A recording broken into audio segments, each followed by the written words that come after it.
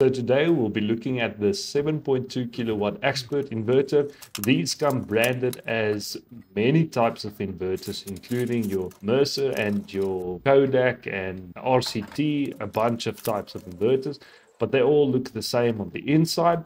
So as you can see, I just took out some of the boards over there. I'm isolating this main board, which I'm taking out at the moment. And we'll be inspecting this board for some faults. We already established that the screen doesn't work on this inverter, but now we want to figure out what else is wrong.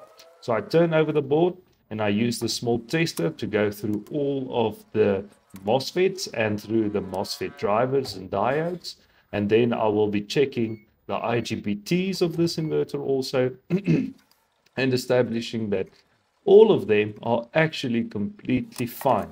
That means this inverter is sitting with a power supply issue. And that is why if you compare these two capacitors, this one over here with this one, you'll see that the latter is swollen. That means that this capacitor is good. Same with the other one on this side and that can cause this inverter to not switch on at all, which is one of the problems.